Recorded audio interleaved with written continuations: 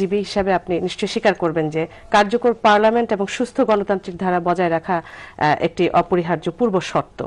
এবং দেখা গেছে প্রায় এক বছর পর বিরোধী দল পার্লামেন্টে ফেরত যাবার পর স্বাভাবিকভাবে আশা করা হচ্ছে যে সংসদীয় ধারাটা বেগবান হবে। কিন্তু পার্লামেন্টে যে ধরনের বিতর্ক এবং অশ্লীল ভাষায় ব্যবহার করা হচ্ছে, এতে করে দেশবাসী আশাবাদী হওয়ার পরিবর্তে নিরাশী হচ্ছে। এই বিষয়টাকে আপনি কীভাবে দেখছেন? ধন্যবাদ আপনাকে। আসলে পলিটিক্যাল টক শোতে যদি কথা বলতে যাই তাহলে আসলে প্রতিপক্ষের উত্তর যদি কিছু না দেই তাহলে আসলে হয় না আসলে। উনি যেটা বললেন আপনি কি পূর্বের কথা ধরে এক মিনিট শুধু আমি বলব। জি বলুন। উনি যে বক্তৃতাটা দিলেন এতক্ষণ উনিশশো বিরানব্বই সালে আমি নটরডেম কলেজে পড়তাম। আচ্ছা। তো সেই থেকে আজকে দুহাজার বারো সাল ২০ বছর। জি। বিশ বছরে বিএনপির সব নেতাদের যে বক্তৃতা শুনছি এটার থেকে কিন্তু এটা কোনো কিছুই কিন্তু ব্যতিক্রম নাই। বাকশাল রক্ষী বাহিনী, গোলামী চুক্তি। এই যে কথাগুলা, এগুলা কিন্তু খালেদা জিয়া প্রত্যেক দিন বলেন। এগুলো বিএনপি সব নেতা বলেন। এইসব কথা যদি বলতে যাই, তাহলে কিন্তু বিশাল কাহিনী। বাংলাদেশের মানুষ এগুলো আর আমাদের শত্রু রাষ্ট্র, গঙ্গা চুক্তি এইসব মানুষ কিন্তু আসলে খায় না।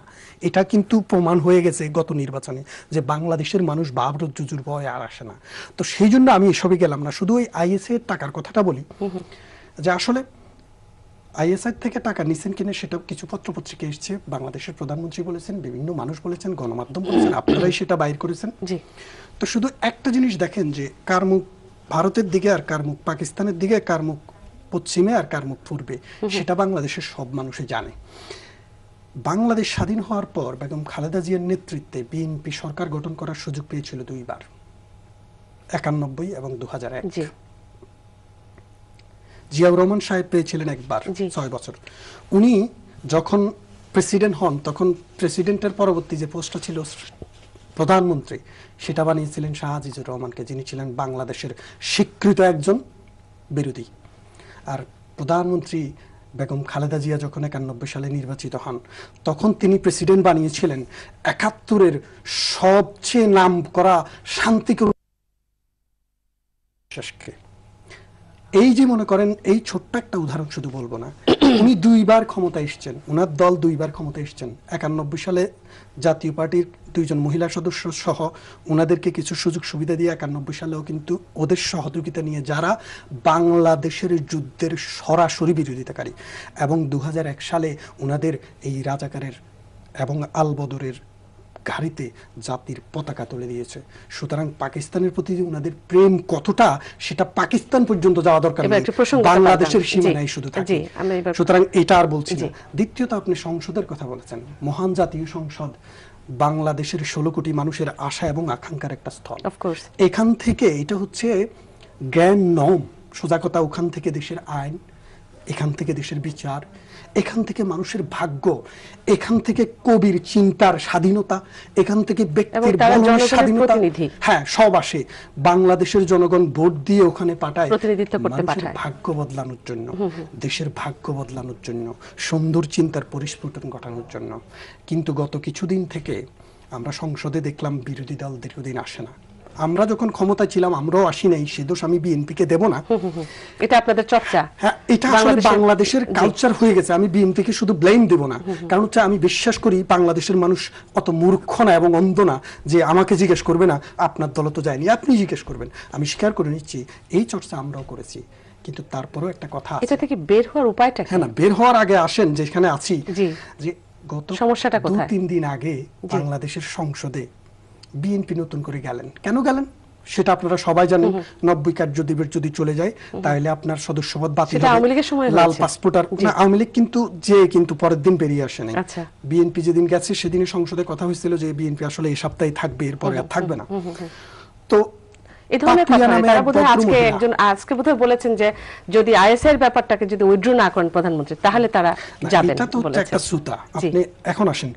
যে সেদিন সংসদে মহান জাতীয় সংসদে বিএনপির দুইজন মহিলা সংসদ সদস্য একজন হচ্ছে রেহানা বেগম আর একজন হচ্ছে পাপিয়া, পাপিয়া জি।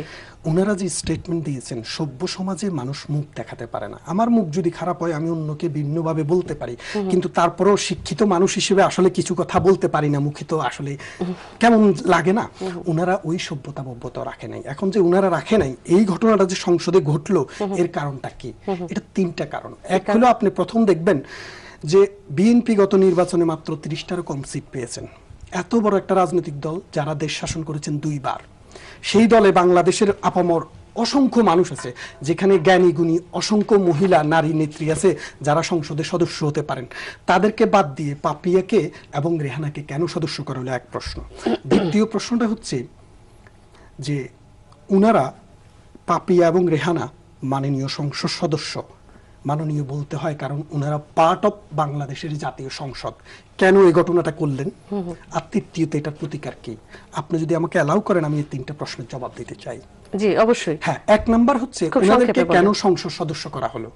বিএনপি জানেন যে আসলে সভ্য সমাজের মানুষ যেভাবে রিয়াক্ট করে ওইভাবে রিয়াক্ট করে এত অল্প সদস্য দিয়ে ওনারা দেশের মনোযোগ আকৃষ্ট করতে পারবেন না পত্র পত্রিকার মনোযোগ আকৃষ্ট করতে পারবেন না। আপনি কি বলতে চাচ্ছেন যে বিএনপি আকৃষ্ট করার জন্য হ্যাঁ, তারা এই ধরনের এরকম দুইজন লোক দরকার যারা গলা ফাটাবে গালি দিবে চিৎকার করবে চেঁচামেচি করবে এবং একটা সূত্র পাবে এটার সূত্র ধরে যেন সংসদ থেকে বেরিয়ে আসা যায়। আমি একটু আমি একটু তার মাঝে একটু কথা বলি। বিএনপির অভিযোগ করে যে প্রধানমন্ত্রী অনেক সময় উল্টাপাল্টা কথা বলে তার জবাবটা তারা তাদের তারা এইভাবে দেন। শোনেন প্রধানমন্ত্রী অনেক কথা বলেন সংসদের বাইরে।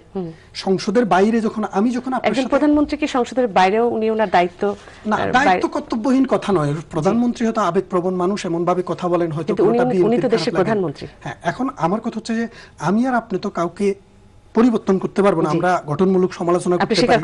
আমি স্বীকার করি প্রধানমন্ত্রীর কোনো কোনো বক্তব্য হয়তো বিরোধী দলের গায়ে লাগে। সেটা বিরোধী দল রিয়েক্ট করলে ওইভাবেই করতে পারে। কিন্তু উনারা যেভাবে করেছেন সেইভাবে নয়। সেটা একটু এক বেশি হয়ে গেছে। উনারা কেন এমন করলেন সংসদে? জি। এটার জন্য ছোট্ট একটা গল্প বলি। আমাদের দেশের বিশিষ্ট একজন লেখক বাংলাদেশের আইকন হুমায়ুন আহমেদ। জি। তো ওনার ছোট্ট একটা বই আছে। বইটার নাম হচ্ছে হোটেল গ্রেবার ইন। তো ওই হোটেল গ্রেবার ইনে হুমায়ুন আহমেদ বলেছেন যে আমেরিকাতে কিছু কিছু লোক আছে তাদের কথা পত্রিকায় লেখে না। তাদের এমন শিক্ষা নাই যে পত্রিকায় লিখবে। ওরা এমন নেতা না যে দেশের মানুষ খাবে। ওরা এমন কবি সাহিত্যিক না অথবা চলচ্চিত্রের নায়ক না যে এদের ছবি দেখাবে। তো ওরা কি করে? বছরের একটা সময়ে আমেরিকার একটা রাস্তায় কাপড় চোপড় খুলে দৌড় দেয়। তো কাপড় চোপড় খুলে যখন দৌড় দেয় তখন পত্রিকালারা আসে ওদের রিপোর্ট করতে। আকর্ষণ করার জন্য হ্যাঁ, এটা কে এরকম করল? হ্যাঁ। আপনি সংক্ষেপে বলেন মানে আপনি বলতে চাচ্ছেন যে হ্যাঁ, পাপিয়া এবং তারপরের দিন ওদের পত্রিকা নিউজ আছে তো পাপিয়া এবং কি বলব রেহানা যেটা করেছেন এটা হচ্ছে ওই উলঙ্গভাবে দৌড় দেওয়ার যে কালচার সেই কালচারের ভিন্ন একটা সংস্করণ। আমি সভ্য সমাজের মানুষ আমি এটাকে